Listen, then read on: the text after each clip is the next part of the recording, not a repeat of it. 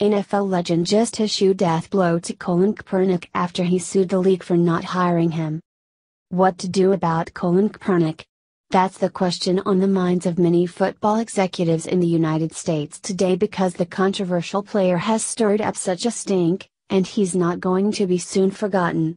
To be perfectly honest, from a purely PR perspective, the day Kaepernick knelt for the national anthem was the day he endowed his career with brilliance because from that day forward we have not stopped mulling over what to do about Colin Kaepernick.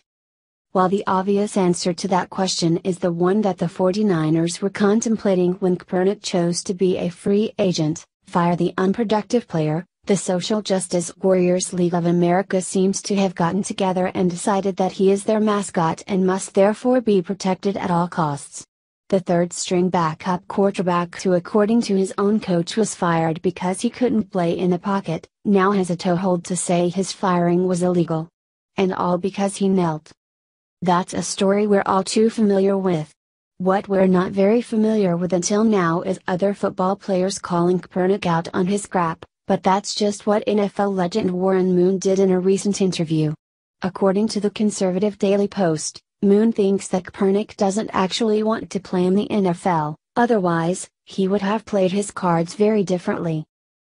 Kaepernick was not a very good football player and was not going to be in the NFL for very long due to that reality. He then began this mindless kneeling during the national anthem as he proclaimed the falsehood of white privilege and other untruths and it has become all that he is known for.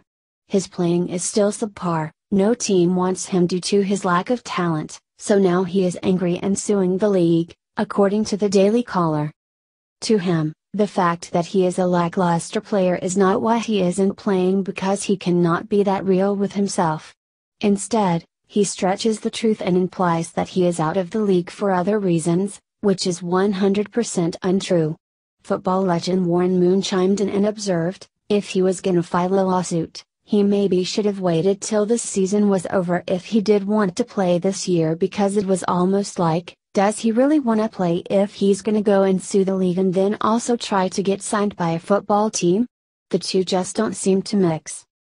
Most of us probably do assume that there is some nuance here that we're missing, maybe since we've never experienced the NFL, we don't really understand what it's like to be in Kaepernick's cleats.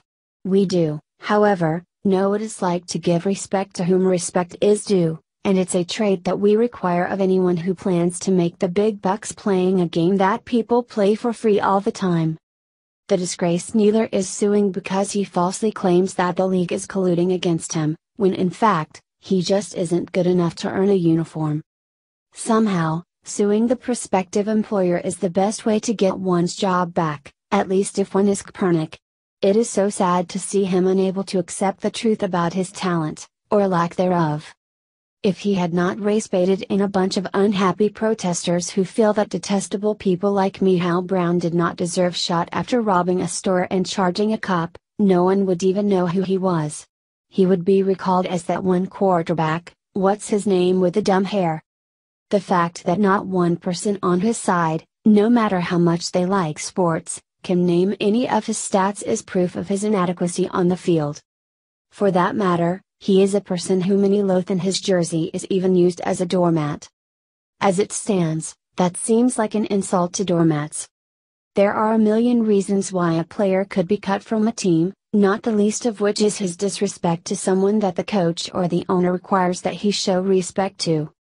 As much as we would all like to believe that Kaepernick isn't playing in the NFL this season because he was disrespectful to the flag and the national anthem, the more logical answer seems to be that he's not playing because he's not a great player, and all of this is fluff, meant to distract us from a washed up has been whose only accomplishment in life is to single handedly bring down a once beloved institution named the National Football League. RIP. IP.